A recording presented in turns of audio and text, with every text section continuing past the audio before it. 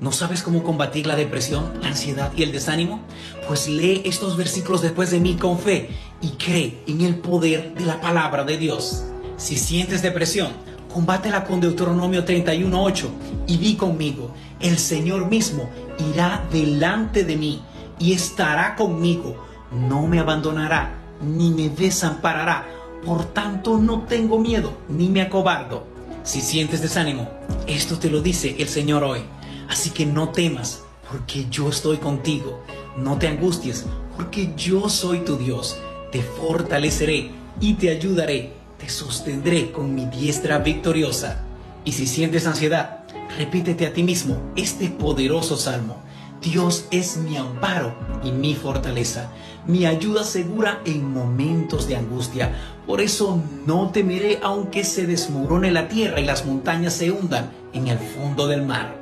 Si crees en el poder de la palabra de Dios en tu vida, la paz de Dios, que sobrepasa todo entendimiento, cuidará tu corazón y tus pensamientos en Cristo Jesús. Si lo crees, comenta Dios es mi paz. Dios te bendiga más. Espera, ¿me regalas un minuto para hacer una oración a favor de tus hijos? Gracias por quedarte. Cierra los ojos y ora conmigo. Amantísimo Señor Jesús.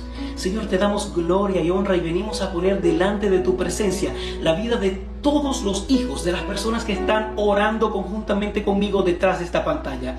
Yo te suplico y te pido, Señor, humildemente que guardes su vida. Señor, coloca un vallado de ángeles alrededor de ellos, Señor. Tú eres un Dios tan grandioso y maravilloso que los ama, Señor. Tú mismo dices en tu palabra y dejar a los niños venir a mí y no se los impidáis porque de los tales es el reino de los cielos. Por tal sentido, yo también declaro y proclamo, Señor, que el reino de los es para cada uno de los hijos de las personas que están orando, Señor, en tu nombre Jesús. Y también te pido que puedas compartir y darle un fuerte amén a esta oración para que muchos padres e hijos puedan recibirla y orar los unos por los otros. Amén y amén. Dios te bendiga más.